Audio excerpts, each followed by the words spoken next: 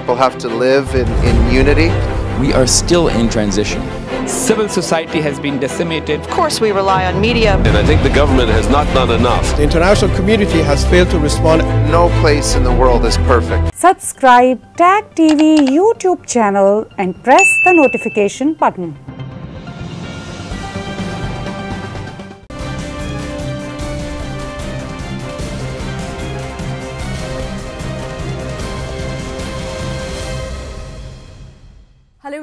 Welcome to Newsweek South Asia, a program that talks about breeding of terrorism and its impact on South Asian nations. Let's begin with the headlines first. India calls out Pakistan and China at United Nations Security Council. Jammu and Kashmir police foils bid to target religious places by Ghaznavi Force terror outfit. And ahead of FATF meeting, Pakistan court issues arrest warrant against Jaish-e-Mohammed chief Masood Azhar. India remains a victim of Pakistan-sponsored terrorism for decades. At various domestic and international platforms, New Delhi has raised the issue of terrorism, noting that it is high time countries from across the world should launch a collective mechanism to fight against this menace in a recently held virtual debate on international cooperation in combating terrorism. India's External Affairs Minister Dr. S. Shankar slammed Pakistan and China for supporting and aiding terror activities. This was the first time that India made an intervention in the UNSC after it assumed temporary membership of the body on January 1, 2021. India raised the issue of state-backed terrorism during an open debate on international cooperation in combating terrorism 20 years after the adoption of 1373, an anti-terror resolution which was passed after the 9-11 attacks in the United States. Taking an indirect jibe at Pakistan, India's External Affairs Minister Dr. S. Jaishankar slammed the country for being clearly guilty of aiding and supporting terrorism and willfully provide financial assistance and safe havens to terror leaders. Underworld Dawn and proscribed terrorist Dawood Ibrahim is one such terror leader with a huge terror empire whose illicit ventures are spread across the world under the banner of D Company with Islamabad support. India highlighted how the 1993 Mumbai bomb blast accused Dawood Ibrahim is not just given state protection but also enjoying VIP hospitality in Pakistan.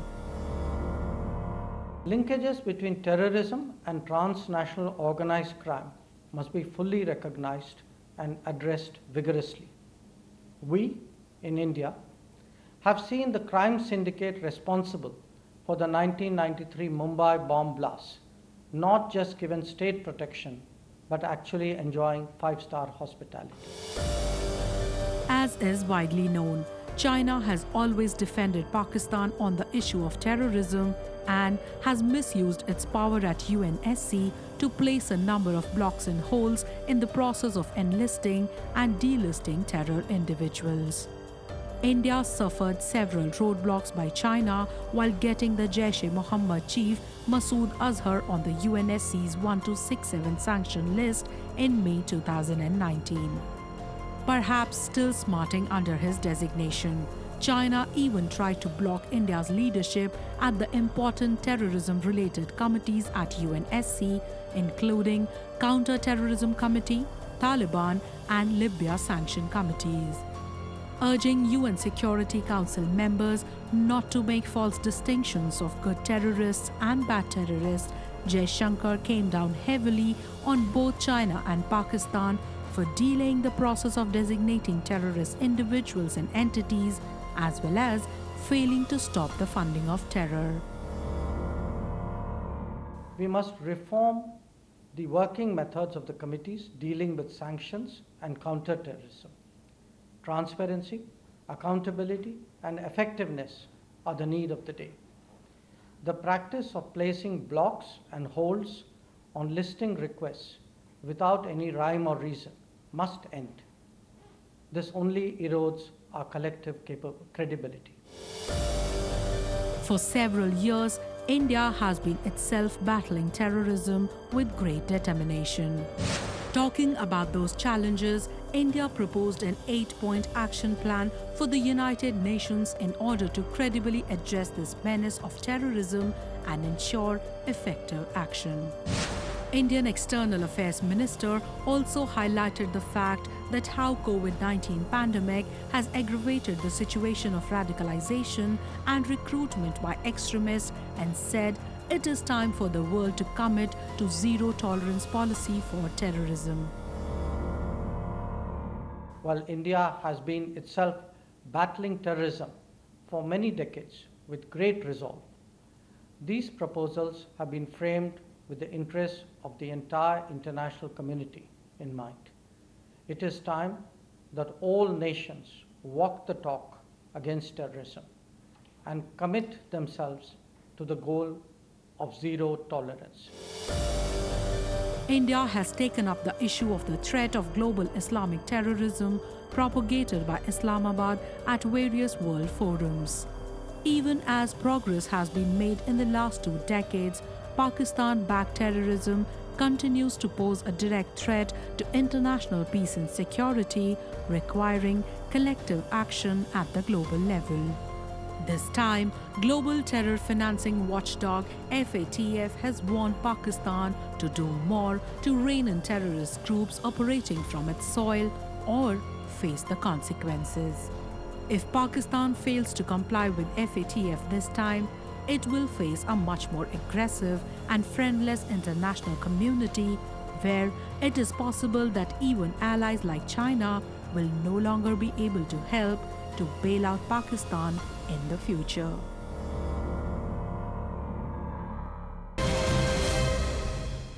Pakistan spy agency ISI formed Ghaznavi force to carry out terror attacks in India's Jammu and Kashmir. The newly formed terror outfit was recently trying to carry out attacks at the religious places with an attempt to disrupt communal harmony in the Union territory. The modus operandi was uncovered by the police with the arrest of members of Ghaznavi force. A report. Four terrorists associated with Ghaznavi force terror outfit were planning to carry out attacks on religious places in Poonch district of Jammu and Kashmir. Their arrest came a day after an IED planted on the Mendhar Goliad road was foiled by the security forces. In December last year, police had arrested three Pakistan-linked terrorists and recovered six grenades from them, foiling a terror plot to attack a temple in the border district of Poonch and disturb communal harmony. The Ghaznavi force has come out in front as an active terror outfit in attempting to perform such tasks. Created by Pakistan spy agency the ISI to carry out Pulwama-style terror attacks in India, this outfit includes assailants from Lashkar-e-Taiba, Hizbul Mujahideen and Ansar Ghazwatul Hind. In Poonch, where there is a mixed population, their aim is basically to attack certain religious houses, religious uh, buildings, so as to create communal tension. Now, the thing is, if they succeed, even partially, then it can be a problem. Uh, because it will not just be a terrorist problem, because they will try their best to stoke communal feelings as well. And therefore, I think our security forces need to be on the guard. Already they are being neutralized. So, our security forces are on the ground, they are being neutralized. But the thing is, this is a new development which you have to watch out for. The arrest of members of Ghaznavi force reveals that they were in regular touch with their handlers in Pakistan to disrupt normalcy and peace in Jammu and Kashmir.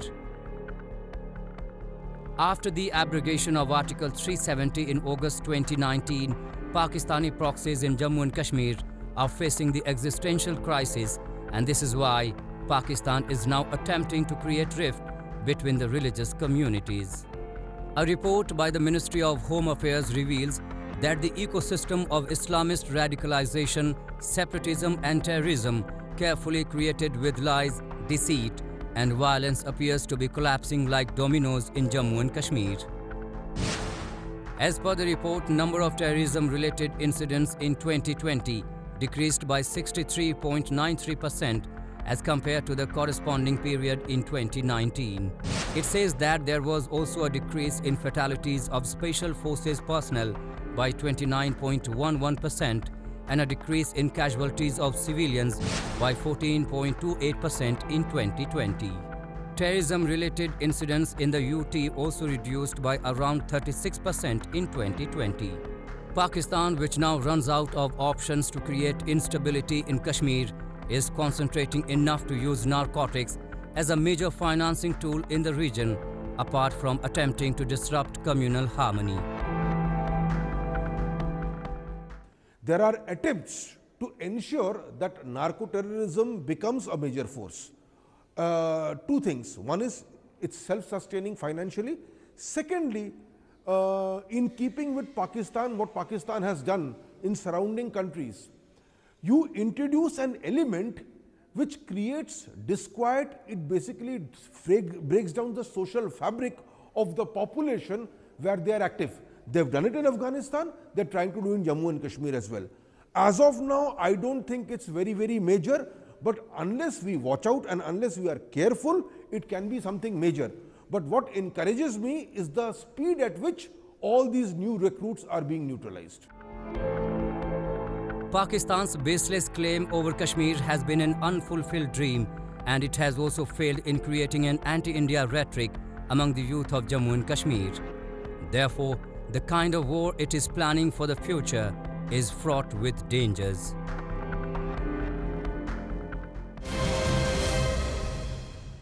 Pakistan has been for years sponsoring and aiding terror organizations on its soil, but has now been forced to kneel down in front of the international community.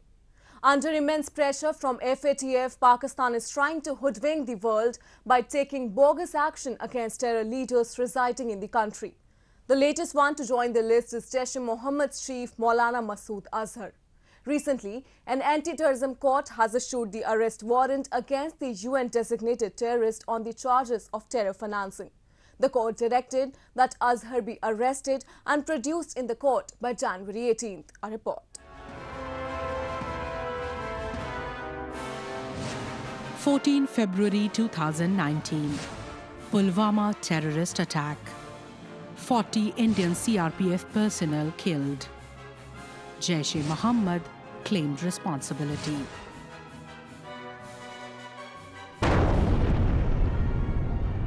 These heart-wrenching visuals speak of the supreme sacrifice of Indian security forces who have been fighting against Pakistan's misdeeds in Kashmir since time immemorial. Adil Ahmad Dar, a member of Jaish-e-Mohammed, blew himself up along with the explosives-laden vehicle into the moving convoy of the Indian Central Reserve Police Force, CRPF. Almost after two years of this gruesome incident, the perpetrator of this attack and chief of proscribed Jaish-e-Mohammed, Maulana Masood Azhar, is finally a wanted man in Pakistan. The anti-terrorism court Gujranwala issued an arrest warrant against this global terrorist on the charges of terror financing who was claimed by Islamabad to have disappeared.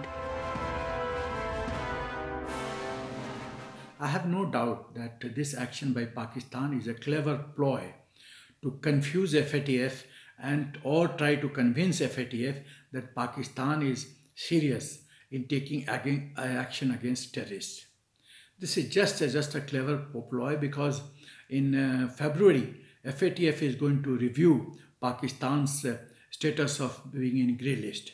And so therefore, Pakistan wants to show that it is in proactive mode and it is taking legal action against these terrorists. This, this has been the uh, trick of Pakistan for many, many years. Azhar is a fugitive released by India in exchange for passengers of a hijacked Indian airline in 1999. After his release, he founded Jaish-e-Mohammed with the support of Pakistan's inter-services intelligence and scripted many terror attacks on India, including 2001 attack on Jammu and Kashmir Legislative Assembly, 2001 Indian Parliament attack, 2016 Pathankot airbase attack, 2016 attack on Indian mission in Mazari Sharif, Afghanistan, 2016 Uri attack, as well as the 2019 Pulwama attack. Following the immense international pressure after the Pulwama attack, Pakistan government had to launch a crackdown on terrorism financing and arrest six militants of the Jaish in Gujranwala. Over 100 terrorists belonging to Jaish-e-Mohammed were also arrested, including Masood Azhar's son and brother. However, till now, Pakistan continued to shield Masood Azhar despite being provided several dossiers by India with specific details of his complicity in the Pulwama terror attack and the presence of Jaish terror camps and its leadership in Pakistan. Pakistan told the global anti terror financing watchdog Financial Action Task Force that it hadn't been able to take action against Masood Azhar because he was missing. However, Pakistan's duplicity was exposed in a media interview when its foreign minister Shah Mahmood Qureshi denied Azhar's role in the attack and admitted that they are in contact with Masood Azhar.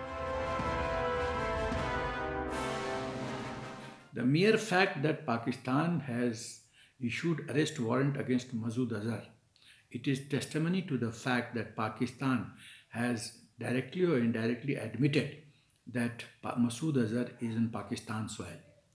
We remember that in past, uh, Pakistan foreign minister had uh, mentioned that they are in contact, contact, constant touch with Masood Azhar. What do you mean by being in constant touch? If he's a terrorist, you arrest him. What is the question of being in constant touch? So this, all this drama, all this gimmickry, all this playing with words is a clever, clever trick on the, Paki, on the part of Pakistan. This move by Pakistan is nothing but Islamabad's desperation to get off the FATF's grey list as it comes just ahead of meetings of the global watchdog in January and February, which will consider Pakistan's grey status. Observers say it has become a routine for Islamabad to come up with farcical actions prior to key international meetings. Similar moves were recently taken with the arrest of Zakir Rahman Lakhvi and Hafiz Saeed, who plotted and supervised the 2611 Mumbai terror attack. However, neither of the two of Pakistan's most famous faces of terrorism faces charges for killing scores of people, but just for terror financing. And now, arrest warrant against Masood Azhar narrates the same story. But the big question is that will Masood Azhar face the real punishment or like early occasions be free to continue enjoying Pakistan's hospitality while in prison?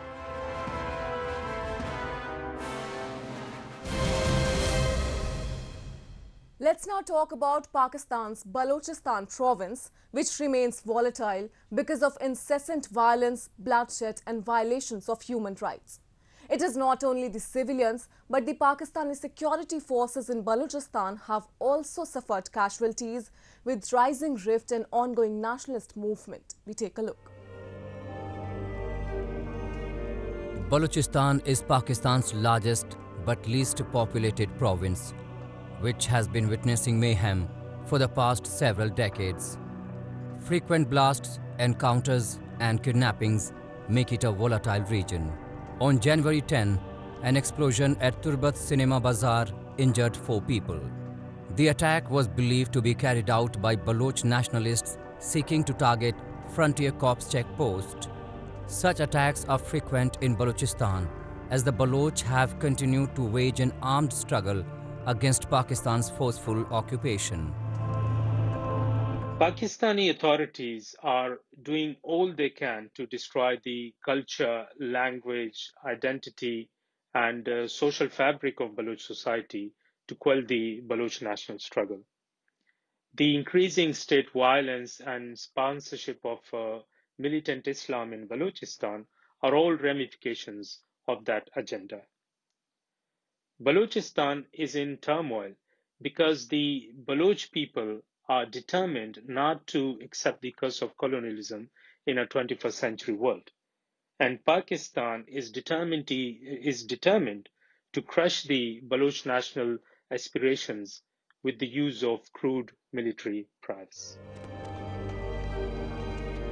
Worsening violence in Balochistan is going largely unnoticed as Pakistan slides ever deeper into crisis. The province has become the epicenter of regional warfare. According to media reports, at least 3,184 people were killed in 2,886 attacks in Balochistan in the last decade. From 2010 to 2015, at least 2,049 people were killed in 1,707 attacks in Balochistan. The number of people killed in the province from 2016 to 2020 stood at 1,135. Overall, Balochistan witnessed 1,185 deadly attacks during this period, which killed 1,126 Pakistani security personnel. Many of these attacks were launched by oppressed Baloch people who were left with no other option. These people are taking up arms to save whatever is left in the land of the disappeared. But instead of redressing Baloch political and economic grievances, the Pakistani military is determined to impose state control through force. Baloch nationalists maintain that their actions are fueled by the military's attempts to subdue dissent by use of force.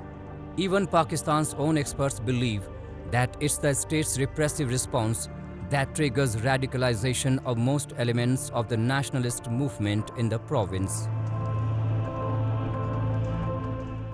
The contemporary armed and political resistance in Balochistan is different from the earlier ones in many ways. Firstly, the Pakistani brutalities surpassed all their previous actions in Balochistan. Many of their actions tantamount to genocide according to the UN definition of genocide. Secondly, because of state brutalities, every family and every region in Balochistan has been affected. Thirdly, because of the increased fear among the Baloch that their language and cultural traditions are in mortal danger because of state sponsored Islamization programs and the imposition of Urdu as their national language. Fourthly, resistance is gaining ground because of the active participation of a newly educated class among the Baloch. According to many Baloch nationalists, the argument that the Pakistan state is promoting terrorism, sponsoring terrorists, or using terrorism as a blackmailing weapon is now meaningless as it has become an integral part of the existence of the state. Surviving the savagery and barbarism unleashed by the state-backed forces isn't the only major task for the people of Balochistan though. They stare at a bleak future, looking on helplessly as the Chinese take control of their mineral-rich land under the pretext of China-Pakistan Economic Corridor, fortifying and fencing areas like the port city of Gwadar.